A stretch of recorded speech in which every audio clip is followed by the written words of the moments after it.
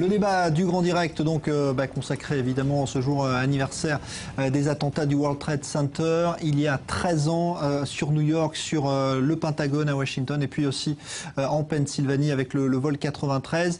au terrorisme, Al-Qaïda a-t-il été remplacé aujourd'hui par l'État islamique? En tout cas, c'est la nouvelle guerre menée, initiée par les États-Unis avec cette coalition. On va en parler dans un instant. Je salue Michael Horowitz. Bonsoir. Bonsoir. Vous êtes analyste géopolitique et spécialisé notamment dans euh, le terrorisme. Et puis euh, Rafi Yerouchalmi, bonsoir, ancien officier dans le renseignement militaire de l'armée israélienne. Alors, euh, Al-Qaïda a lancé, on va dire, un phénomène qui se retrouve très présent aujourd'hui, notamment en Syrie, on l'a vu avec l'État islamique, celui du djihadisme. Ces combattants qui quittent leur pays, souvent même depuis l'Europe, pour aller rejoindre donc ces groupes terroristes et combattre des ennemis. Eh bien, on y revient. Cela dure depuis 13 ans, donc maintenant, on y revient avec Mathias Inmar.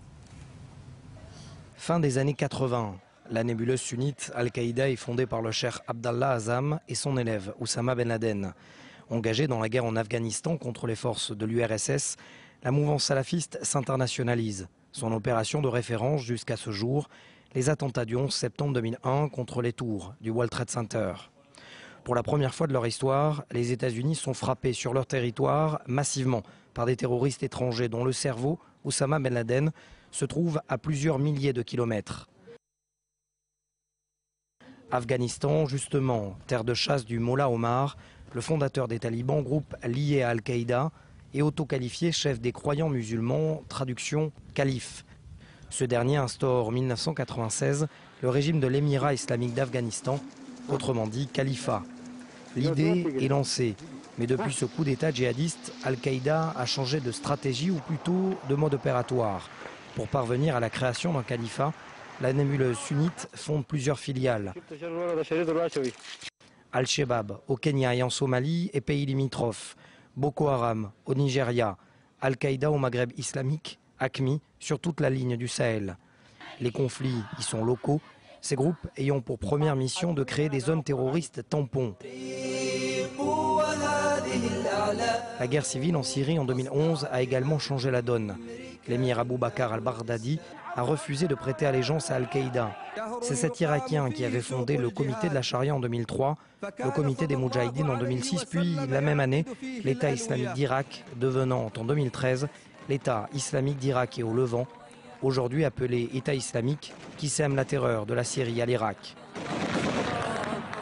La question est de savoir si Al-Qaïda et l'État islamique, et surtout leurs chefs respectifs Al-Zawahiri et Al-Bardadi, pourraient atténuer leurs différends avec comme objectif la création d'un califat sunnite mondial.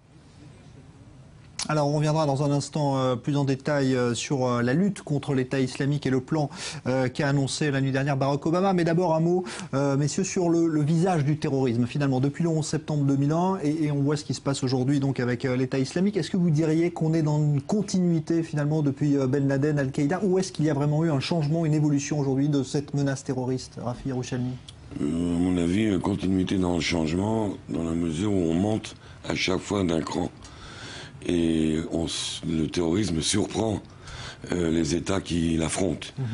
Euh, par exemple, Al-Qaïda, État islamique.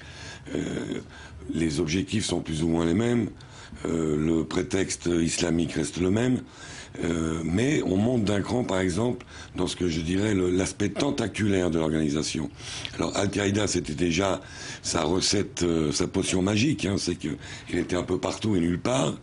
Eh bien, l'État islamique, bien qu'il ait un, centre en Irak et en Syrie, et partout et nulle part, il a des adeptes de par le monde, il a les réseaux sociaux, euh, les recruteurs euh, dans, les banlieues de Paris ou de Londres, euh, qui travaillent jour et nuit à réunir de nouvelles forces, à monter de nouvelles cellules, euh, il y en a même en Israël. Et donc ça, c'est une, tentacularité euh, encore plus grande euh, que celle d'Al-Qaïda.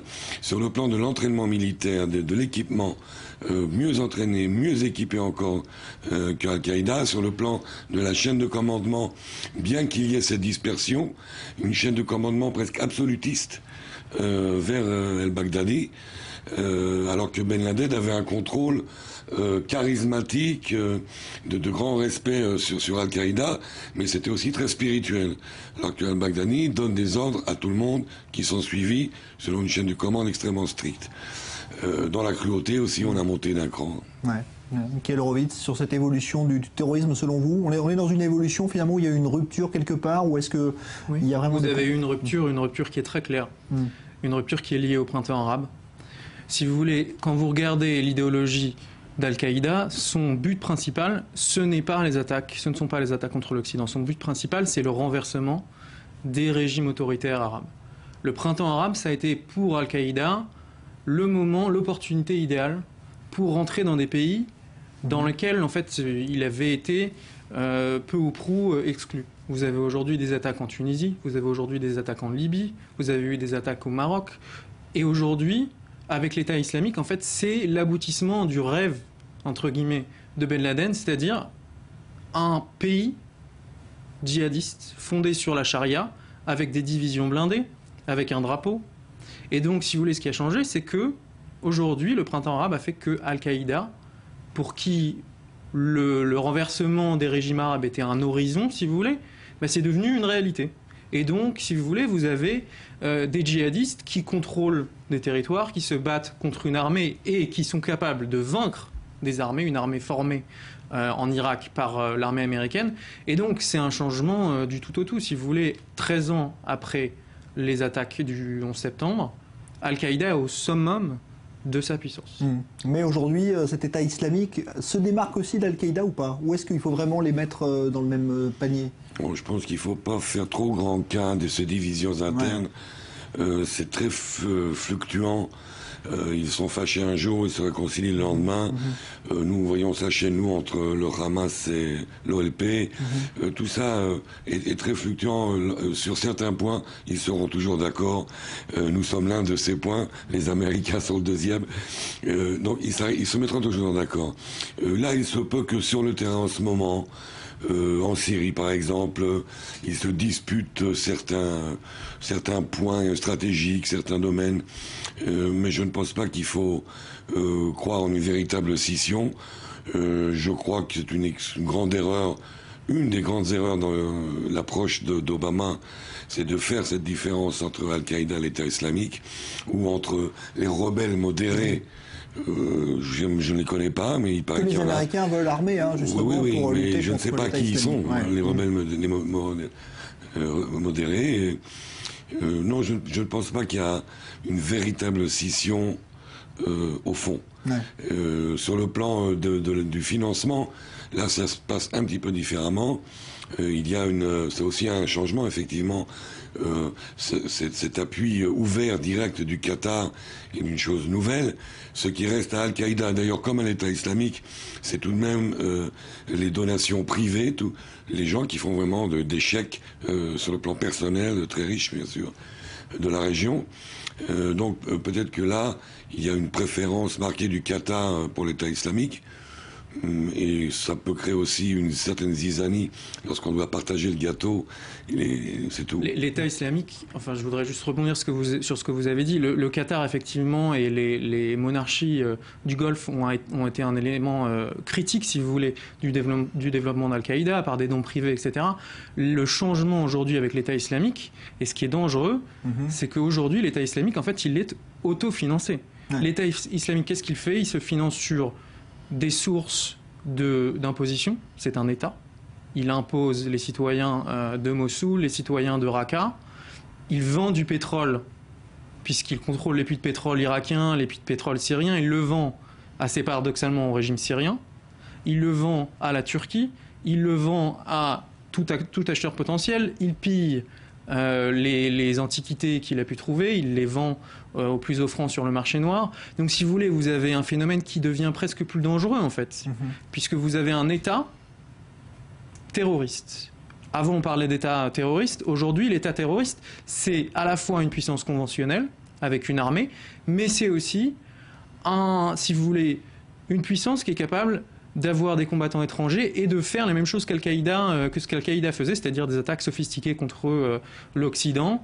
Et euh, si vous voulez, c'est une, véritable bombe à retardement. Et je crois qu'il faut, il faut absolument, je suis absolument d'accord avec ce que vous dites, c'est-à-dire qu'il ne faut pas sous-estimer Al-Qaïda traditionnel entre guillemets. Mm-hmm mais il faut se rendre compte du changement euh, euh, révolutionnaire entre guillemets qu'est l'État islamique, c'est-à-dire vous avez un État hmm.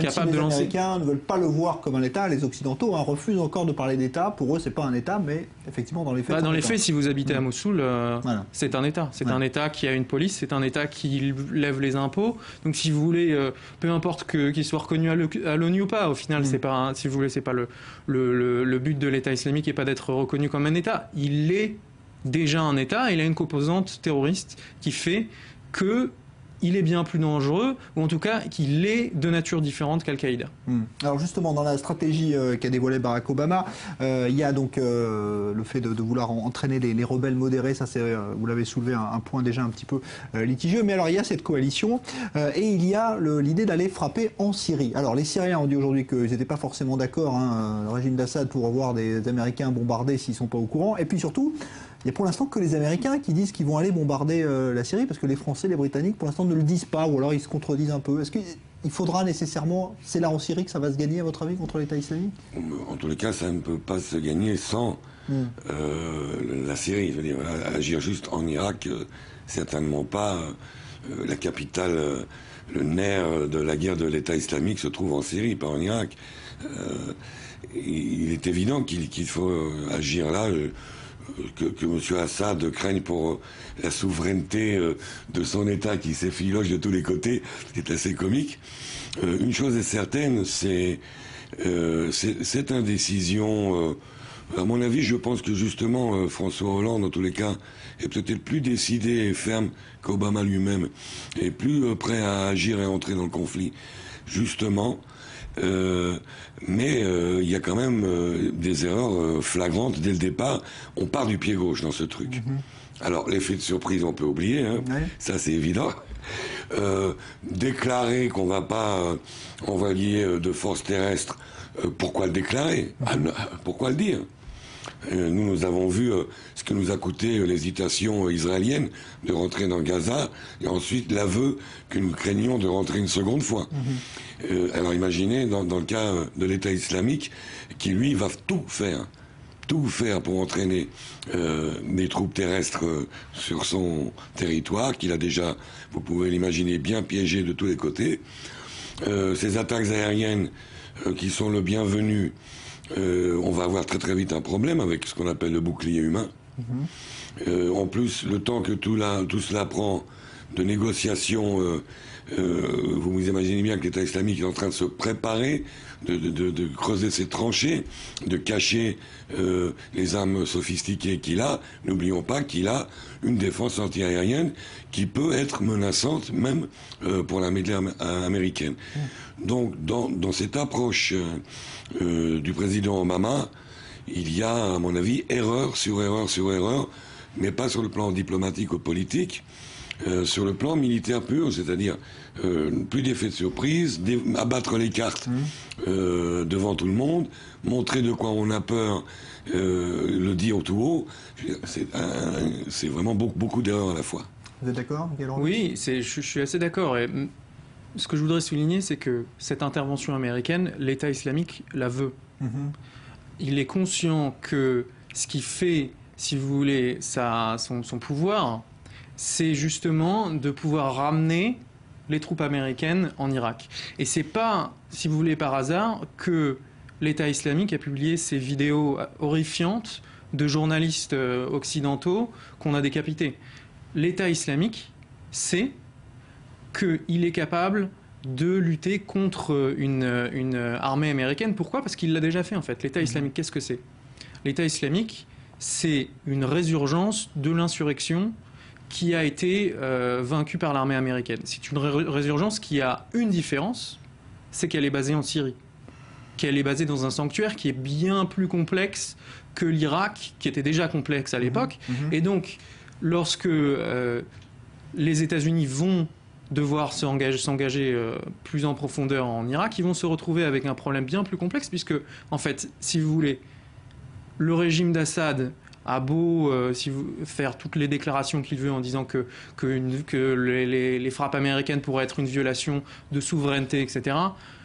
Pour lui, c'est du pain béni. Le, si vous voulez l'intervention américaine, qu'est-ce que ça veut dire? Ça veut dire que ça justifie toute sa politique. La mhm. politique d'Assad, c'est de dire nous ne combattons pas notre population, nous combattons un groupe de terroristes. Le fait que les États-Unis rentrent dans une guerre contre l'État islamique va justifier, en fait, si vous voulez, cette, euh, cette euh, posture et donc va nourrir un nouveau terrorisme. Et donc c'est de ça, c'est ça que veut l'État islamique. L'État islamique a compris qu'il va pouvoir mobiliser encore plus de combattants étrangers s'il y a des troupes américaines sur le, sur le sol irakien. Et on paye effectivement l'erreur d'Obama de, de, ne pas l'avoir fait plus tôt. Eh ben voilà, euh, donc euh, évidemment pour l'instant ça n'a pas commencé, il y a encore euh, plein de choses à mettre en place, mais avec vous on a vu déjà les, problèmes qui se profilaient à l'horizon. Merci Michael Horowitz, merci Rafi Yerushalmi. Dans un instant, entretien avec Ephraim Alevi, ancien patron du Mossad à l'époque du 11 septembre. C'est à suivre. Restez avec nous.